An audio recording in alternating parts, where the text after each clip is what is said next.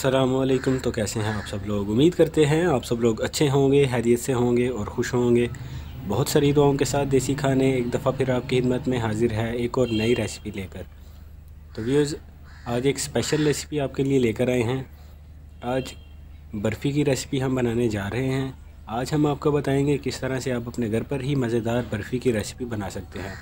तो जैसा कि आप सब लोग जानते हैं, जब भी मिठाई की बात की जाए तो सबसे ज़्यादा जो है लोग जिस चीज़ को खाना पसंद करते हैं, उनमें बर्फ़ी का नाम आता है। तो बर्फ़ी की रेसिपी बनाना बहुत आसान है। आप आज सारी वीडियो को शुरू से लेकर एंड तक ज़रूर देखिएगा।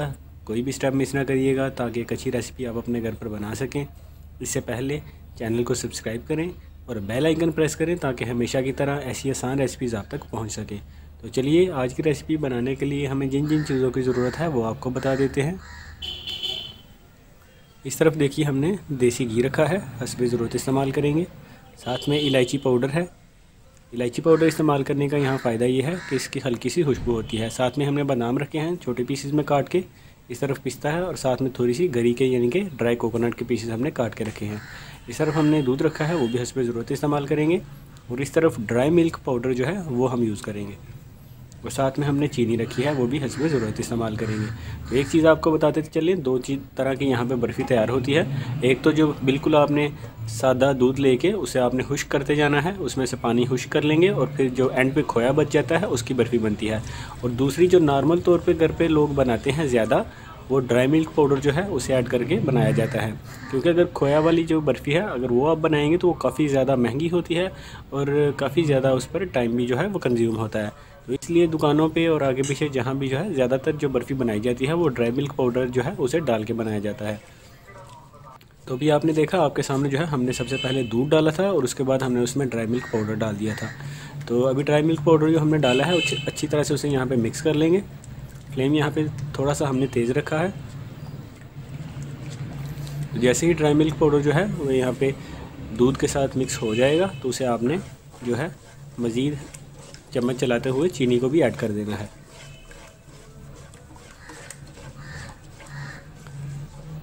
तो तरीके तकरीबन यहाँ पे एक जो है, ये बड़ा गिलास हमने दूध का इस्तेमाल किया है और साथ में एक पूरी प्याली जो है वो भर भर के हमने यहाँ पे ड्राई मिल्क पाउडर डाला है। तो अभी देख रहे हैं, मज़ीद इसे पकाते जाएँगे ताकि इसमें गाढ़ापन आता जाए। तो अब देखिए कुछ इस तरह से हमारी जो रेसिपी है वो नज़र आ रही है।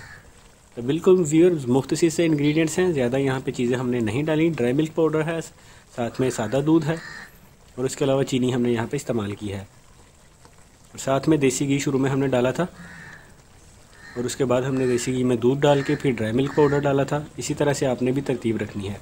तो अभी देखिए, कुछ मज़ीद पकाने के बाद हमारी रेसिपी कुछ इस तरह से नज़र आ रही है, और अच्छी तरह से इसमें गाढ़ापन भी आ चुका है। अब इसे हम डिश आउट कर लेंगे। और डिश आउट किस तरह से आपने करना है, वो भी आपको बता देते हैं।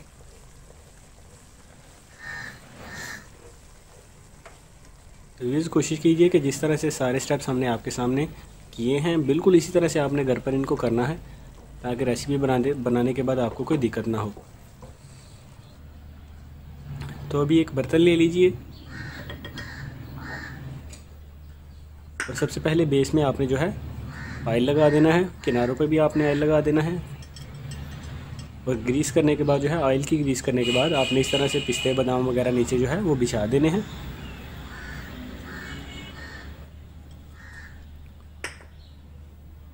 तो अभी हम जो है पिस्ता हमने डाल दिया है, बादाम के कुछ पीसेस जो हैं वो भी हम डाल देंगे यहाँ पे। अगर आपने ड्राई कोकोनट डालना है तो वो भी अभी से आप थोड़े से पीसेस उसके नीचे डाल सकते हैं बेस में।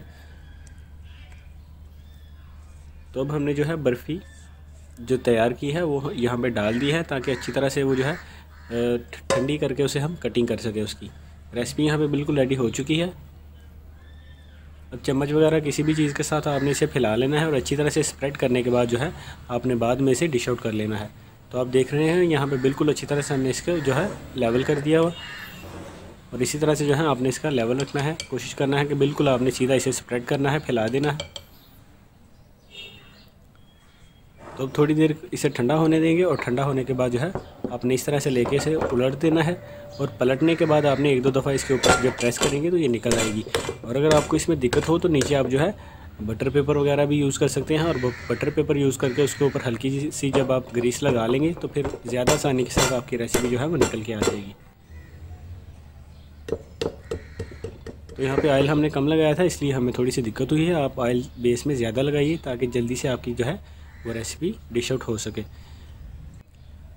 तो रेसिपी बिल्कुल तैयार हो चुकी है, अब इसकी कटिंग कर लेते हैं। जो साइज़ आपको बेटर लगे, वो आप रख सकते हैं। ऐसे कोशिश कीजिए कि नॉर्मल आप स्केयर में यहाँ पे इसके पीसेस काट लीजिए। तो ये थी हमारी आज की मज़ेदार रेसिपी बहुत आसान रेसिपी है, बड़ी ही मज़े की बनती है। आप इसे ज़रूर ट्राई करिएगा और हमें बताइएगा कि आपको आज की रेसिपी कैसी लगी है। और शुगर के बारे में आपको बताते चले कि मीठा जितना आपको पसंद है, आप ज़्यादा भी डाल सकते हैं। यहाँ पे हमने जो है आधी प्याली से ज़्यादा चीनी डाली थी। आपको जितना मीठा पसंद है, आप वो डाल सकते हैं। उम्मीद है आज की रेसिपी आपको ज़रूर अच्छी लगी होगी और आप इसे ट्राई भी ज़रूर करेंगे।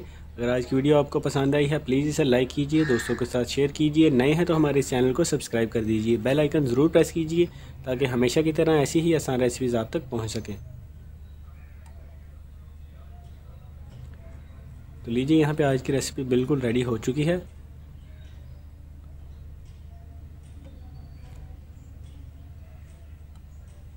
तो रेसिपी को ज़्यादा ठंडा करके आपने उसकी कटिंग नहीं करनी। कोशिश कीजिए कि जब थोड़ा सा जो है उसमें गर्मी हो तो आपने उसे कटिंग करना शुरू कर देना है, फिर आसानी से कटिंग हो जाती है।